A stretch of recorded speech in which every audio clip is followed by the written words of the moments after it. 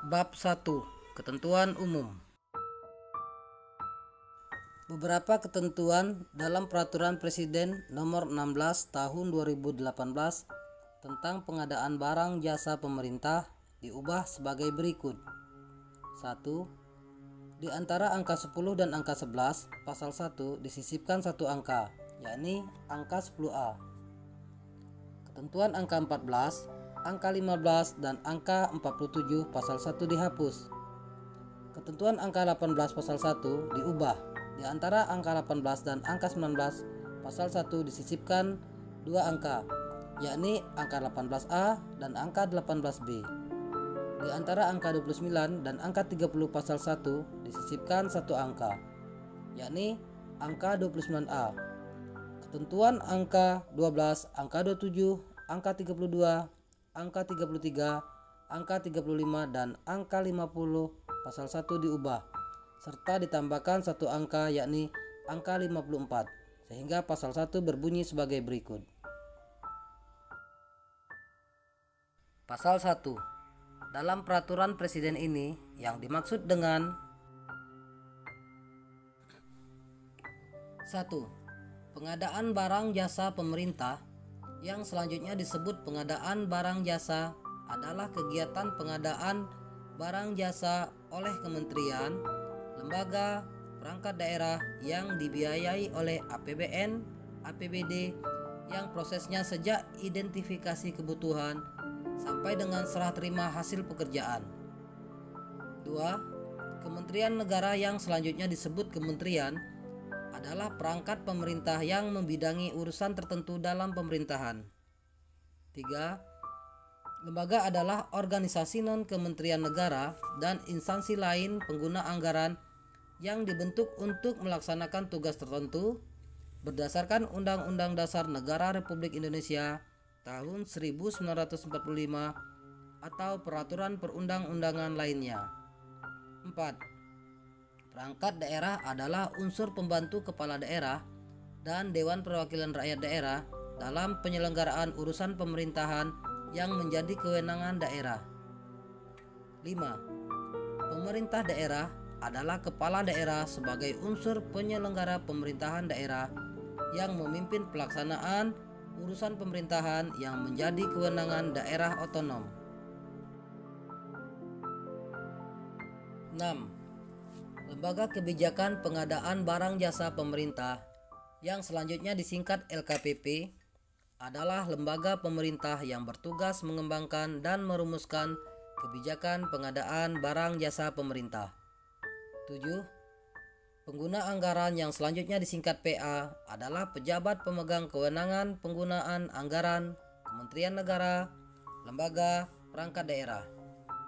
8.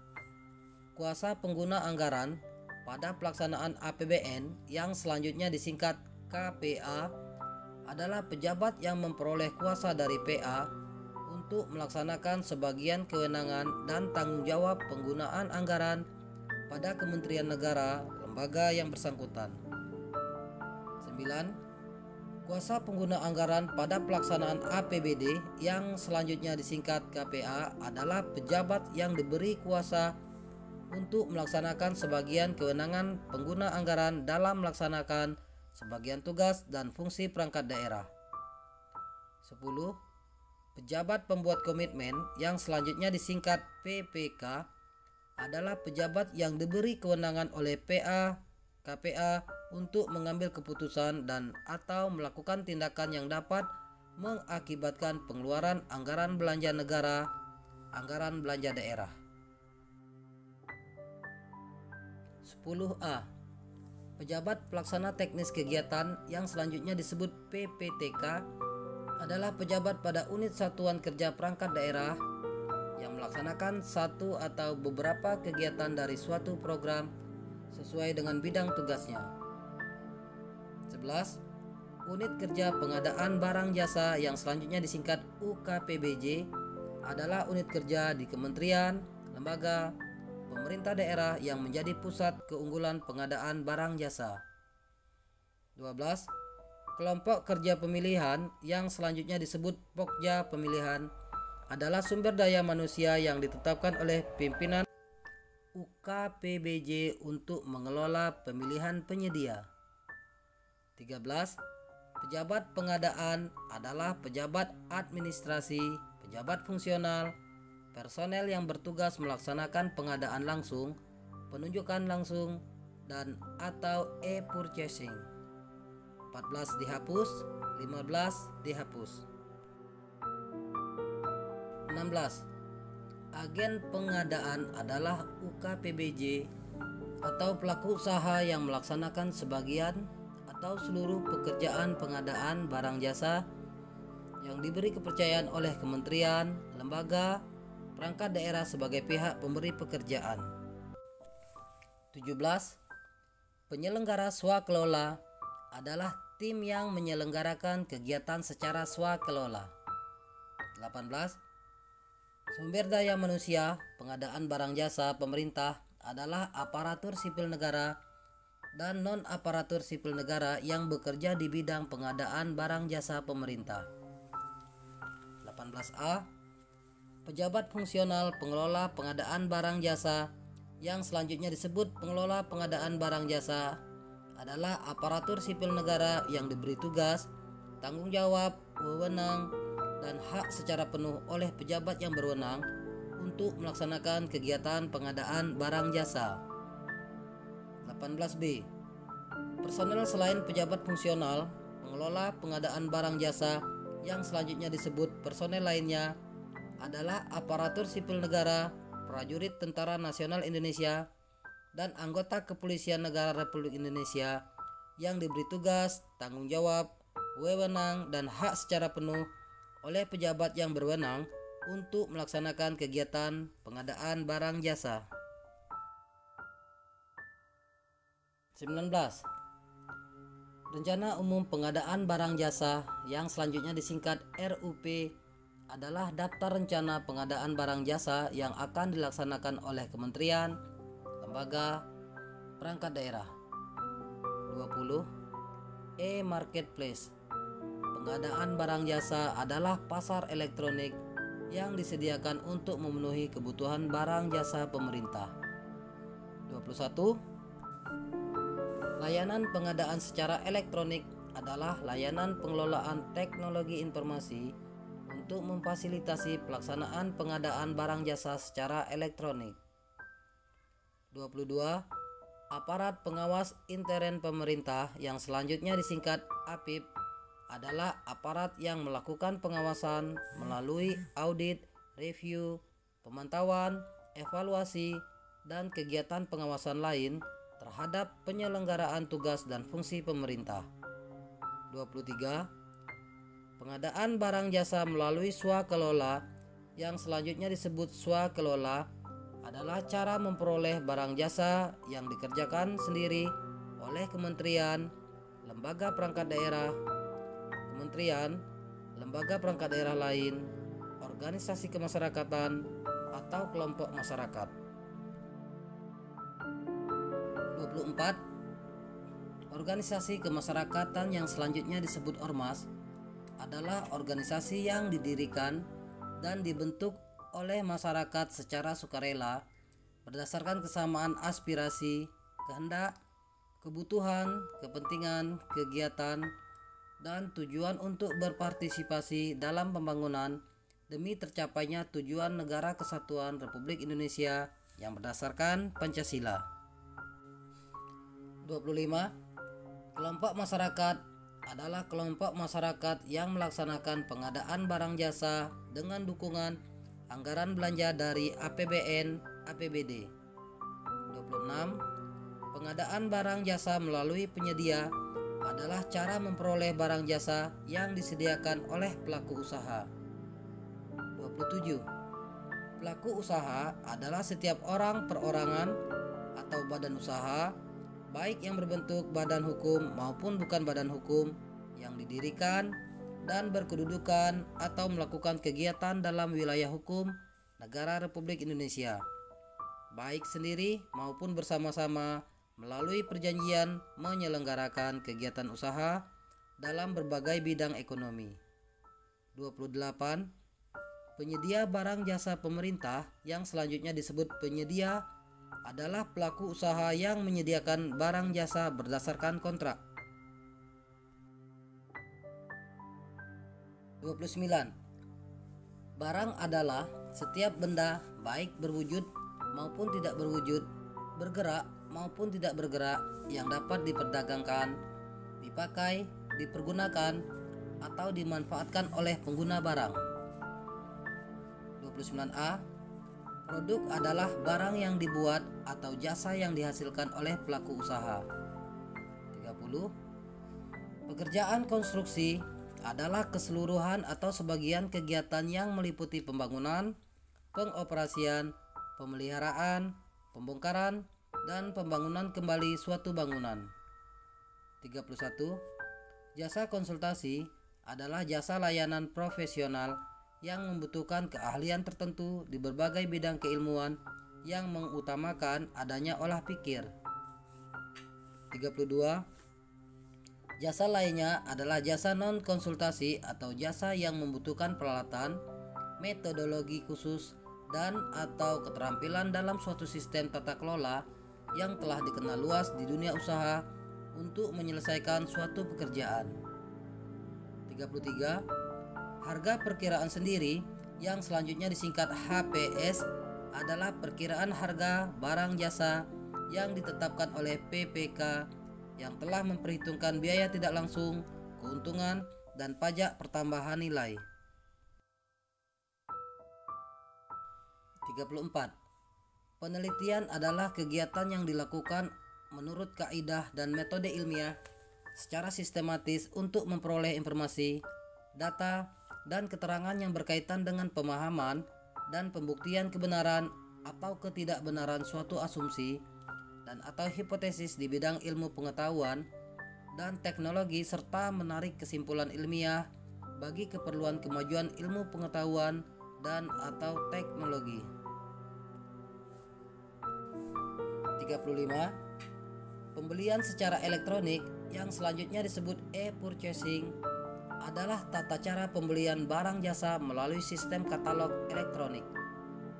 36. Tender adalah metode pemilihan untuk mendapatkan penyedia barang, pekerjaan konstruksi jasa lainnya.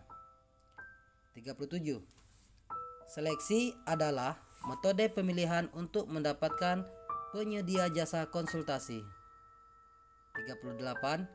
Tender seleksi internasional adalah pemilihan penyedia barang jasa dengan peserta pemilih dapat berasal dari pelaku usaha nasional dan pelaku usaha asing. 39. Penunjukan langsung adalah metode pemilihan untuk mendapatkan penyedia barang, pekerjaan konstruksi, jasa konsultasi, jasa lainnya dalam keadaan tertentu. 40. Pengadaan langsung barang pekerjaan konstruksi, jasa lainnya adalah metode pemilihan untuk mendapatkan penyedia barang, pekerjaan konstruksi, jasa lainnya yang bernilai paling banyak 200 juta rupiah. 41. Pengadaan langsung jasa konsultasi adalah metode pemilihan untuk mendapatkan penyedia jasa konsultasi yang bernilai paling banyak 100 juta rupiah. 42 e-reverse auction adalah metode penawaran harga secara berulang. 43. Dokumen pemilihan adalah dokumen yang ditetapkan oleh Pokja Pemilihan, pejabat pengadaan, agen pengadaan yang memuat informasi dan ketentuan yang harus ditaati oleh para pihak dalam pemilihan penyedia. 44 Kontrak pengadaan barang jasa yang selanjutnya disebut kontrak adalah perjanjian tertulis antara PA, KPA, PPK dengan penyedia barang jasa atau pelaksana swakelola. 45 Usaha mikro adalah usaha produktif milik orang perorangan dan atau badan usaha perorangan yang memenuhi kriteria usaha mikro sebagaimana dimaksud dalam undang-undang tentang usaha mikro, kecil, dan menengah 46. Usaha kecil adalah usaha ekonomi produktif yang berdiri sendiri dan dilakukan oleh orang perorangan atau badan usaha yang bukan merupakan anak perusahaan atau bukan cabang perusahaan yang dimiliki, dikuasai atau menjadi bagian baik langsung maupun tidak langsung dari usaha menengah atau usaha besar yang memenuhi kriteria usaha kecil sebagaimana dimaksud dalam Undang-Undang tentang Usaha Mikro, Kecil dan Menengah. 47 dihapus. 48. Surat jaminan yang selanjutnya disebut jaminan adalah jaminan tertulis yang dikeluarkan oleh bank umum, perusahaan penjaminan, perusahaan asuransi, lembaga keuangan khusus yang menjalankan usaha di bidang pembiayaan, penjaminan, dan asuransi untuk mendorong ekspor Indonesia sesuai dengan ketentuan peraturan perundang-undangan di bidang lembaga pembiayaan ekspor Indonesia. 49. Sanksi daftar hitam adalah sanksi yang diberikan kepada peserta pemilihan penyedia berupa larangan mengikuti pengadaan barang jasa di seluruh kementerian, lembaga, perangkat daerah dalam jangka waktu tertentu. 50. Pengadaan berkelanjutan adalah pengadaan barang jasa yang bertujuan untuk mencapai nilai manfaat yang menguntungkan secara ekonomis tidak hanya untuk kementerian, lembaga, perangkat daerah sebagaimana penggunanya, tetapi juga untuk masyarakat serta signifikan mengurangi dampak negatif terhadap lingkungan dalam keseluruhan siklus penggunaannya. 51. Konsolidasi pengadaan barang jasa adalah strategi pengadaan barang jasa yang menggabungkan beberapa paket pengadaan barang jasa sejenis 52